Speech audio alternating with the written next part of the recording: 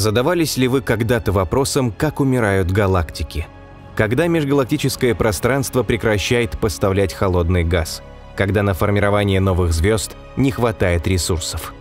Именно тогда наступает невероятно масштабный крах, и большинство галактик исчезают бесследно. Однако что, если бы вы смогли пронаблюдать за этим событием? Представьте, как нечто массой в полтора триллиона Солнц начинает словно магнитом притягивать и питаться газом небольших галактик. Постепенно сил противостоять большому монстру не остается и происходит столкновение, а затем слияние и бабах! Звучит пугающе, правда? Но самое страшное, что это событие уже происходило. И не раз. Ведь большой монстр – Млечный Путь, а магнит – гравитация. Кого поглотил Млечный Путь? Есть ли галактики, которым удалось выжить? Что будет, когда Млечный Путь столкнется с галактикой крупнее себя? Халлоу. Последние несколько лет космический телескоп Гайя сканирует небо, собирая данные для переписи звездного населения. Что в результате выходит? По прогнозам ученых должна выйти самая точная и масштабная трехмерная карта нашей галактики с более миллиардом звезд на ней. Буквально недавно в свет вышел уже третий каталог данных Гая, который содержит информацию почти о двух миллиардах звезд. Но в ходе этой работы телескоп Гая получил другие шокирующие данные – Млечный Путь никаким образом не может дружить с маленькими галактиками. Это поставило в шок. Известно, что на протяжении своей жизни галактики часто взаимодействуют друг с другом. Порой они расходятся в пространстве, ограничиваясь лишь гравитационным воздействием друг на друга, а порой сливаются в единый объект. Наш Млечный Путь не стал исключением. За миллиарды лет он поглотил минимум 15 соседних галактик – После каждого из столкновений он становился больше примерно на 10 миллионов звезд. Это происходит по двум причинам. Во-первых, поглощенные небольшие звездные острова добавляют к ней свои светила. Во-вторых, столкновения галактик сопровождаются бурными процессами, ускоряющими образование звезд из межзвездного газа. Насколько нам известно, вокруг Млечного Пути вращается 60 карликовых галактик – 12 из них тусклые галактики-спутники в форме сферы. У них настолько мало звезд, они такие неяркие, что первую найденную звезду поначалу приняли за отпечаток пальца на фотографии. Но было время, когда галактики-призраки не испытывали недостатка в сверкающих звездах. Что же с ними произошло? Телескоп Гая дал нам понять, что большинство этих галактик обзавелись новыми звездами, когда впервые пересекли гравитационную область нашей галактики – но вскоре после этого они перестали образовывать звезды, потому что Млечный Путь оставил их без газа, предрекая их тем самым на угасание. Одна из самых ранних и грандиозных космических катастроф – столкновение с галактикой, которую астрономы назвали Кракеном в честь мифического чудовища.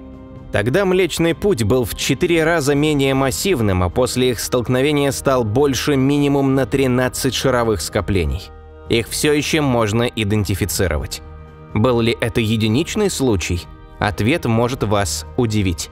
Ведь то же самое произошло с карликовой галактикой в Драконе.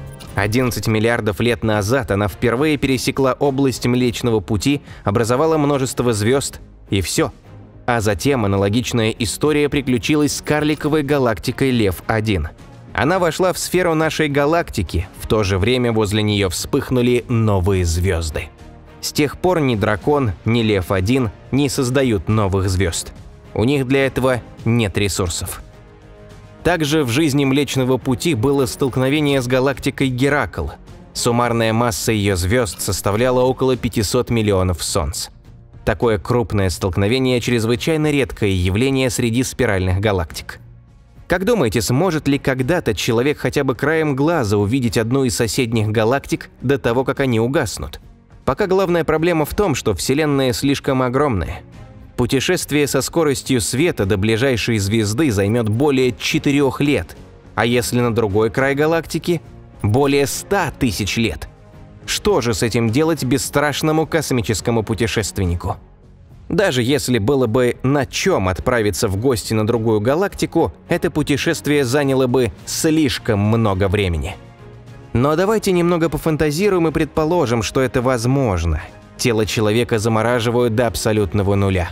Затем замороженные останки помещаются в толстое стальное хранилище, чтобы предотвратить повреждения от радиации и даже механических вещей, таких как высокоскоростные столкновения с частицами пыли. Затем тело человека отправляют в космос, где оно путешествует 10 тысяч лет с надеждой, что роботы или инопланетяне разморозят и оживят его. В случае позитивного исхода человек буквально просыпается из мертвых с пониманием, что цивилизация, которая послала его, теперь уже не существует. Ему даже нет смысла отправлять сообщение на Землю. Доехал, все хорошо. Чтобы сообщение достигло Земли, потребовались бы несколько лет, и кто знает, будет ли жив человек к тому времени, когда сообщение достигнет Земли. Фактически подобное путешествие – это путешествие в один конец.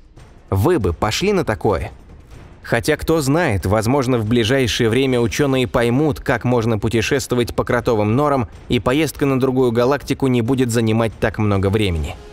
Но вернемся к современным реалиям, а именно карликовым галактикам, которым удалось не поддаться негативному воздействию Млечного Пути и продолжить звездообразование. В их числе Фарнакс и Карина – Может, эти галактики знали какой-то секрет или гравитация Млечного Пути действует не на всех? На самом деле эти галактики спасло то, что они не стремились к дружбе с Млечным Путем и сохраняли дистанцию. Поэтому им удалось сохранить межзвездный газ внутри себя и продолжить образовывать новые звезды в течение многих миллиардов лет после того, как они пересекли царство Млечного Пути. Впрочем, на сегодняшний день ресурсы исчерпаны и на них. А что если где-то там есть галактика, которой удалось уцелеть, и на ней есть жизнь? Возможно, нас еще удивят Глизе 581G, Глизе 876 или Проксима Центавра B. А может это и вовсе будут новые экзопланеты, похожие на Солнечную систему? Теоретически это вполне возможно, ведь в Млечном Пути находится больше планет, чем звезд – но пока ученым не хватает мощности, чтобы уловить маленькие планеты. А именно такие распространены в галактике. Сложность в том, что от них, в отличие от звезд, не исходит света.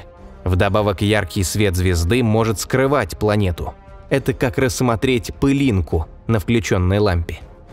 Пришло время подумать и о самом Млечном Пути. Что будет, когда на его пути попадется более крупная галактика – выживет ли человечество. Не хотим вас пугать, но наша галактика Млечный Путь с огромной скоростью движется к соседней спиральной галактике, галактике Андромеды. В какой-то момент в течение следующих нескольких миллиардов лет наша галактика Андромеда, две крупнейшие галактики местной группы, столкнутся, что может привести к катастрофическим последствиям. Ряд звезд будут выброшены из галактик, другие будут уничтожены, а некоторые поглощены сливающимися сверхмассивными черными дырами.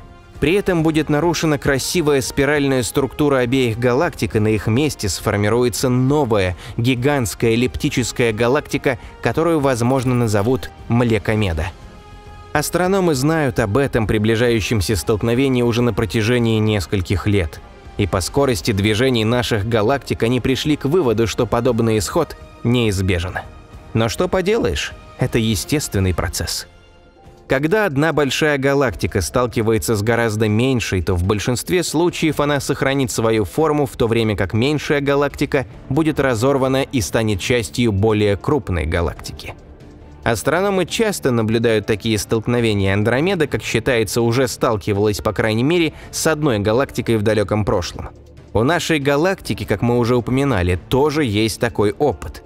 Тем не менее, использовать слово «столкновение» в данной ситуации не совсем корректно, поскольку чрезвычайно разряженная межзвездная среда в галактиках означает, что реальные столкновения звезд или планет крайне маловероятны. А может, повезет и Андромеда пройдет мимо? Скорее всего, нет. Судя по последним данным, в отличие от других галактик, Андромеда стремительно приближается к нам. В 2012 году исследователи установили, что Млечный Путь и Андромеда приближаются друг к другу со скоростью порядка 110 км в секунду. Столкновение произойдет примерно через 4 миллиарда лет – Проведенные исследования также показали, что М33 или галактика треугольника, третья по величине галактика местной группы, также будет участвовать в этом процессе. По всей вероятности, М33 станет спутником Млекомеды, а затем спустя еще какое-то время сольется с ней. При столкновении галактик крупные галактики поглощают более мелкие целиком, но когда галактики схожи по своему размеру, как Млечный Путь и Андромеда, столкновение приводит к разрушению их структуры. Поэтому Млекомеда в конечном счете станет гигантской эллиптической галактикой без заметно выраженной спиральной структуры. При столкновении также возникнет небольшое количество звезд, самые горячие молодые из которых взорвутся как сверхновые – и все, что останется, более старые и холодные красные звезды, продолжительность жизни которых намного больше. Несмотря на то, что галактика Андромеда насчитывает около 1 триллиона звезд, а Млечный Путь около 300 миллиардов, шанс столкновения двух звезд ничтожно мал из-за огромных расстояний между ними – с большей вероятностью они будут выброшены за пределы новой галактики в результате слияния сверхмассивных черных дыр, находящихся сейчас в центрах Млечного Пути и Андромеды. Скорее всего, столкновение Млечного Пути и Андромеды не будет иметь негативных последствий для нашей системы, если не считать постепенного исчезновения красивого звездного неба. Вы к такому готовы? Хотя, к счастью, а может и к сожалению, мы с вами не станем свидетелями этого удивительного процесса. Взгляните на скриншоты, которые сейчас на экране. Это статистика от YouTube. Что она значит? Заметьте, сейчас 57% зрителей этого канала смотрят без подписки. Это и есть истинная суть моего месседжа к вам. Поэтому, дабы не упустить Хаббл из разряда ваших подписок, вам нужно всего-навсего щелкнуть вот на эту красную кнопку, которая выглядит вот так – и находится ниже под этим видео. Закон Вселенной простой. Помните это. Ведь каждая ваша подписка очень важна для меня. Чем больше зрителей, чем чаще они смотрят и ставят лайк, тем быстрее выходит новое, мега увлекательное видео. Услышимся!